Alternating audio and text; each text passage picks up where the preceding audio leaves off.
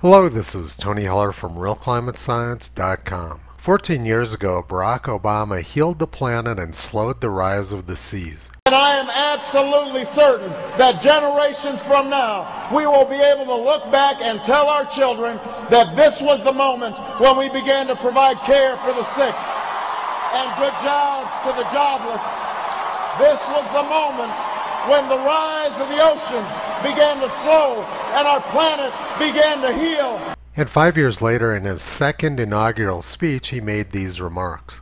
We will respond to the threat of climate change knowing that the failure to do so would betray our children and future generations. Some may still deny the overwhelming judgment of science, but none can avoid the devastating impact of raging fires and crippling drought and more powerful storms. The path towards sustainable energy sources will be long and sometimes difficult. But America cannot resist this transition. We must lead it. We cannot cede to other nations the technology that will power new jobs and new industries. We must claim its promise. That's how we will maintain our economic vitality and our national treasure, our forests and waterways, our croplands and snow-capped peaks. So basically, he said he was going to prevent droughts, forest fires, and hurricanes by building wind turbines and solar panels. And he said this was the overwhelming judgment of science. That was some pretty impressive rhetoric. Now let's take a look at what's actually going on in the real world. Forest fire burn acreage in the United States over the last decade has been well below the long-term average and down 80% from the 1930s. Similarly, the amount of drought in the United States has been much less in recent years than it was back in the 1950s and the 1930s. In 1931, drought covered much of the country and there were people starving to death in many states. And Obama gave that speech in 2013 right in the middle of the quietest period on record for hurricanes in the United States. In 2016, the Washington Post was terrified by the fact that so few hurricanes had hit the United States over the prior 10 years. Everything that Obama said in that speech about climate was complete nonsense. Now let's look at his claims about energy and the economy.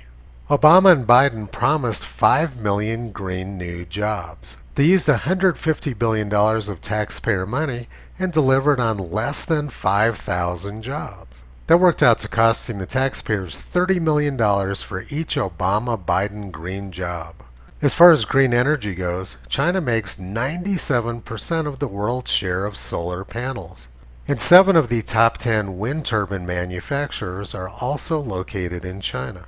So what Obama and Biden did was they transferred huge amounts of American taxpayer money to the Chinese government. And at the same time, China was massively ramping up their usage of coal. None of Obama and Biden's fake climate agreements had any impact on the growth of carbon dioxide in the atmosphere. And this environmental disaster is what Obama described as protecting our mountains. But here's the worst bait and switch of all. Nine years ago, Obama and Biden were pushing natural gas as a clean fuel. They used this strategy as a way to get the oil companies on board with the Obama administration war on coal. The oil companies saw getting rid of the coal industry as a business opportunity. But once the coal industry in the United States had been destroyed, the Democrats quite predictably turned their sights on destroying the natural gas industry as well. Everything that's been going on since Obama and Biden took office was targeted at destroying American energy independence while building up China's economy. This is what Obama described as the overwhelming judgment of science.